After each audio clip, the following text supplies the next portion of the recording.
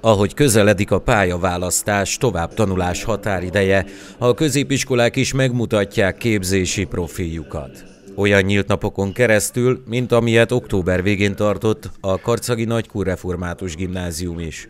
A reménybeli elsősök 14 nyílt órán ismerhették meg, hogy milyen képzés folyik az iskola falai között.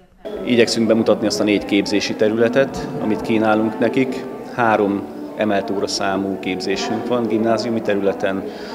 Ez a biológia, kémia, a matematika, fizika és a magyar történelem, valamint van egy általános gimnáziumi képzési területünk is.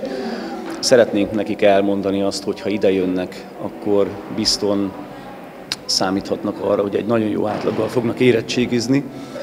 Ez általában egy olyan 4,25 század körül van, az idén is annyi volt. Idén az itt érettségizők közel 80%-át vették fel első helyen abba a felsőoktatási intézménybe, amelyet megjelölt. Azokat a nyolcadikosokat, akik nem tudtak elmenni az októberi nyílt napra, január 20-án újra várja a Karcagi Nagykúr Református Gimnázium.